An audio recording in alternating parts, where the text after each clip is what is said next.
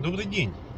Э, Пока образование еще до конца не убито, ну, хочу на ваш суд представить цифры кое-какие, а вы напишите, э, большинство и самая большая фракция – это отличие, и если люди меняют понятие, это жульничество или нет, и смотрите, как э, партия жуликов и воров подтверждает, собственно, по моему оценочному суждению, этот тезис.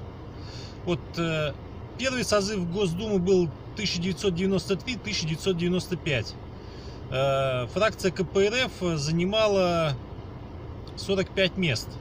Это все с интернета, да? Всего 450 мест в Государственной Думе.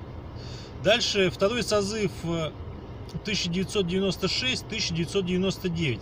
Фракция КПРФ занимает 149 мест. Из 450 это примерно 30%, я думаю, все прекрасно понимают. Дальше 2000-2003 КПРФ занимает 95 мест. Это, соответственно, опять не большинство. 2003-2007 52 места. 2007-2011 57 мест. 2011-2016 92 места. И 2016 по настоящее время 42 места. Так вот, эм, на основе мне скажите, где тут коммунистическая партия была в большинстве? И второй вопрос. Когда же это у нас Государственная Дума была коммунистическая? Это когда вам рассказывают о том, что там в какие-то 90-е годы там законы она могла принимать. Ни разу Государственной Думе не было фракция такая, чтобы она могла единолично. А именно вот то, что она ни разу не была, не имела возможности единолично принимать законы, вот как сейчас Единая Россия, да, то это в принципе косвенно говорит о том, что все остальные фракции, которые есть в Государственной Думе, они всегда боролись с коммунистической партией Российской Федерации. И если я в чем-то не прав, ну поправьте меня. Но вот мое оценочное суждение. Дальше смотрите видео, ну пишите в комментариях и доводите до всех, потому что сейчас, я так понимаю, что это новый политтехнологический шаг про то, что в 90-е годы якобы коммунистическая партия что-то могла решать на уровне Государственной Думы. Так вот, нет. Она ни разу не имела, получается, больше, чем 149 голосов из 450. Вот и все. Вот в этом и заключается жульничество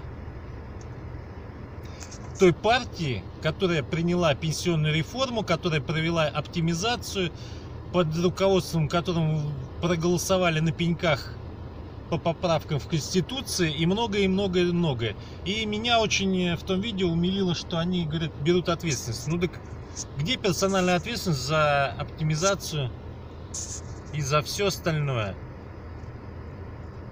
Где? Где персональная ответственность? Они сейчас даже по коррупции какой интересный закон приняли. А у них персональная ответственность исключительно э, смотрите в законах. Ну, кому интересно, короче, найти несложно.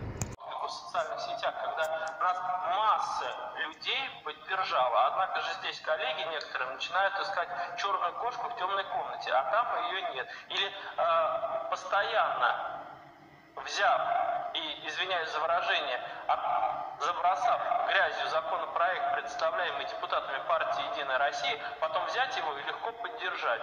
Но это проще всего. Это, но это не конструктивная критика. И я бы хотел сказать в адрес тех, кто вольно интерпретирует законопроект, том числе разработчиком которого являюсь и я, и Юлия Михайловна, и многие другие депутаты, Здесь не нужно его, еще раз говорю, вольно интерпретировать и выдавать за то, чего нет на самом деле.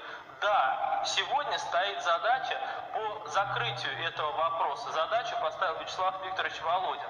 И я хочу сказать, прежде всего, представителям коммунистической партии о том, что да, наша партия в состоянии решить этот вопрос, потому что не боится брать ответственность и делает все для того, чтобы решать вопросы в стране. Делает это уже 20 лет. В отличие от вашей, э, которая не делает ничего. Именно нашей партии досталось такое наследство, которое, начиная там с позднего СССР и заканчивая безвременем 90-х, когда у нас э, в Государственной Думе Компартия имела большинство, наделали дел. Поэтому не нужно в состоянии реализовывать и не нужно, я извиняюсь за выражение, еще раз скажу, забрасывать грязью законопроекты, которые на самом деле нужны людям. Занимайтесь лучше делом. Спасибо. К сожалению, ничего не меняется. Я также слышу гнев и ор со стороны товарищей левых, да, и почему это вдруг они так раздражены? Да, они никак не могут потерпеть то, что закрывается проблема, которая действительно тяжелая, и действительно с помощью Вячеслава Викторовича Володина мы закрываем раз навсегда по этой категории. Да? Вспомним, что было.